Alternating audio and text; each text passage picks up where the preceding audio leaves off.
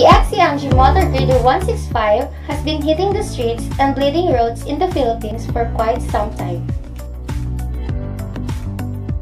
It has a powerful Dongfeng Cummins engine 6BTA 5.9 with cutting angle of 28 to 70 degrees and slewing angle of 360 degrees.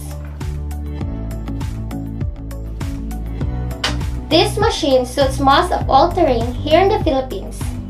This is the Grader 165.